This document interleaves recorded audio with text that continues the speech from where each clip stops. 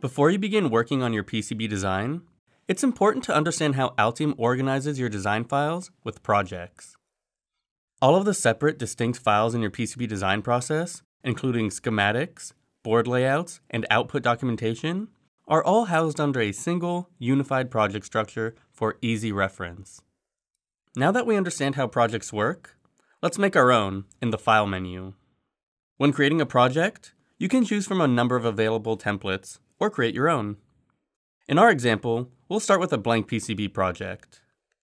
Now that your project structure is created, you can easily add documents to it under the Projects panel. With your project structure in place, we can now move on to configuring specific design rules. We always recommend setting your rules before starting the design process, as it removes any worry of staying in compliance with manufacturing specific guidelines. These can all be configured under the Home panel by selecting the Design Rules option. Rules are organized in specific categories to make finding and changing rules quick and easy. When you've finished your schematic, you'll then want to sync all of your components with your PCB document.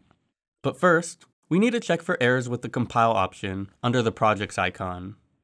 Any errors found in your schematic will be displayed in the Errors panel, and you can quickly identify an error visually with a powerful cross-probing function which highlights and zooms in on the selected error.